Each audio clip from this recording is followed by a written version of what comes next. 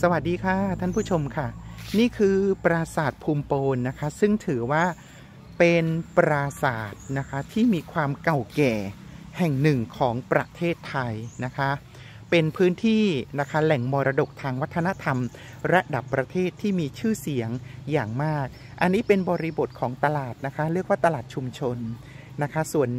นั้นก็จะเป็นต้นลำเจียดต้องมนตำนานเนียงดอทมนะคะ ที่เป็นต้นไม้ในตำนาน เป็นต้นไม้ในประวัติศาสตร์นะคะนี่คือบริบทของสถานที่ปราสาทนะคะด้านหน้าเนี่ยนะคะน่าจะเป็นเรียกว่าสถานที่ประกอบพิธีกรรมที่สร้างด้วยด้วยโรงไม้ ตัวองค์ปราสาทนะคะอาจจะมีขนาดที่ไม่ได้ใหญ่นะคะแต่ตัวที่ต่อออกมาจาก ตัวองค์ปราสาทนั้นนะคะมักจะเป็นศาลาที่ทำด้วยไม้นะคะทำด้วยกระเบื้องนะคะ ซึ่งผ่านมานับพันปีแล้วนะคะ สิ่งเหล่านี้ก็จะต้องอันตรธานหายไปเป็นยุคเป็นสมัยนะคะ แต่สิ่งที่ยังคงอยู่นั่นก็คือสถานที่ตั้งของมหาเทวะหรือเป็นจุดที่ประดับนะคะหรือประทับของอเทพเจ้านะคะ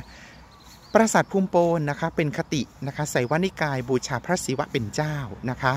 แล้วก็น่าจะมี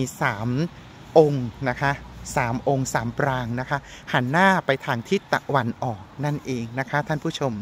อันนี้ก็คือความงดงามความสวยงามของปราสาทภูมิโปนนะคะ